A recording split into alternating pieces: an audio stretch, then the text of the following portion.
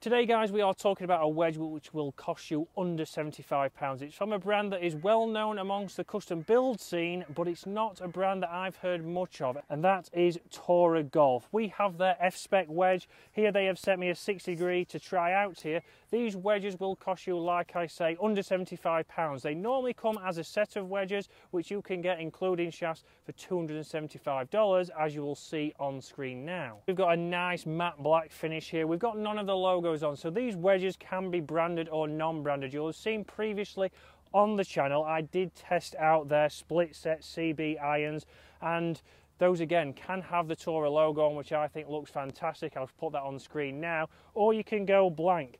Again, this wedge, the F-Spec wedge, is their most popular wedge because they do make irons, they do make a bladers set, they do make a CB set, then they do make different ranges of the wedges. So again, this is the most popular. Again, this wedge is designed to have that thinner top line. So if you like something that's a little bit thinner on the top edge and it's a smaller profile, so it's not a long blade length, it's not going to look huge, it's not going to look chunky. You'll have seen previously on the channel last week, we had a Cleveland wedge on there. Again, the full face CBX Cleveland wedge, which has got probably one of the biggest faces on a wedge that I've seen in a long time. This has gone back, obviously being a little bit smaller and a little bit sleeker. Straight away down at the golf ball, obviously looks a lot smaller than the wedge that I did test out here earlier today. But let's put it to its test. Obviously, it does say that it's nice and versatile. It does come with various bouncers and different grinds, but how will it perform? Again, 60 degree there. And straight off the bat, for £75, it's an absolute fantastic wedge. Dave is absolutely fuming behind the camera. He's not happy that that's gone in. But Luckiest shot I've seen in a long, long time. Extremely lucky there. Okay. I mm. haven't chipped in for a while, so I'll take that, obviously, towards the end of the year. But off the face there, that was pretty centred there and it was it felt nice and soft again nice little bit of check there launched pretty low which is pretty impressive because that's a 60 degree and can you manipulate shots again can I get it to launch low? that's one thing I certainly could do there again here at the front we can see it's got a little bit of a chamfered edge there to help with turf interaction. So that's going to help me be able to square that up feel like I can get my hands a little bit forwards without that digging straight in. If that didn't have that there that potentially would dig straight into the ground. So this is where obviously whether it's a cheap wedge, if whether it's an expensive wedge, it's all about making sure that it's versatile and it can play multiple shots. One thing that I would be worried about, and again, I didn't mention it when I tested the irons, is with the matte black finish, is it going to scuff up pretty quickly? Are you going to start to get marks on there? And really, I don't want to hit another shot now I've chipped in, but I will hit one more for Dave. Won't be two in a row, I know. But again, we'd take both of those. That popped up a little bit higher. That was a little bit off the toe of the club, but I still got a reasonable speed off that. I still got a good launch. I still got good control, and that's all you want from a wedge. But I'm going to put this to a test now in the bunker and start to see, does it scuff up? We know as soon as you get one in there, if it's got maybe a few stones in there, or the sand gets on the face, will it mark up? Again, £75, still not cheap in my eyes. Obviously, you're still spending your hard-earned money. Will it scuff up? More so than a premium wedge. So what guys, on earth is this you're giving me here? Well, guys, I was going to test this out, but the celebrity came from behind those trees. The so bushes. James in testing this. James has been prolific out of the bunkers, I would say. So let's put it to the test, James. Obviously, we're, we're talking about will it scuff up for the price? £75. I think black finish tend to, don't they? Let's see. Performance-wise, doing its job. Felt okay, there. felt nice.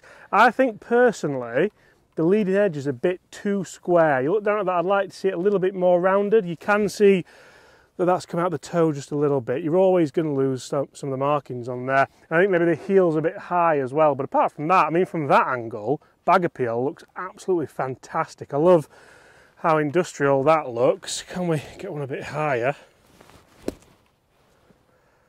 Very nice. yeah, I feel like you can sort of like, say if we played a longer one, this is quite a short one, isn't it? Say if we played one into that bank where those leaves are, can you sort of get the control you want? Because these are the harder shots.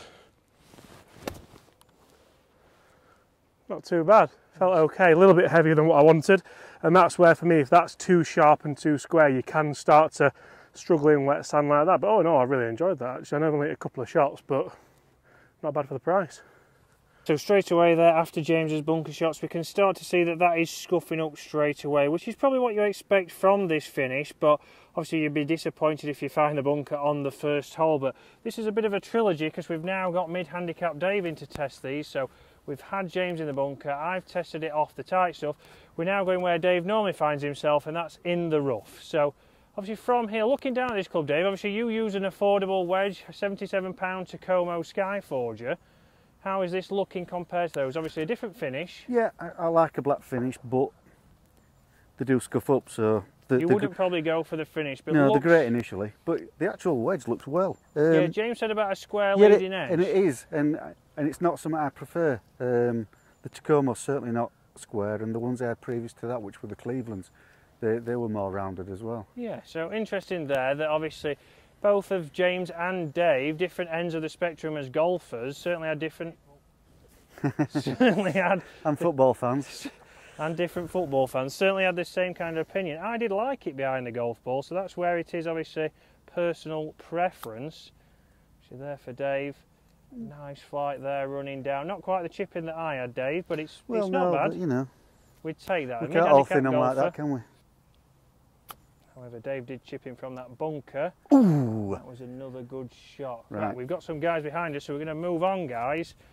I'm going to keep testing this wedge. So for a mid-handicap golfer, this is probably the scariest place off a tight lie with a wedge. Obviously, not a place that you would use your wedge, Dave, to be honest. no, it isn't. I'd be using something like a, I don't know.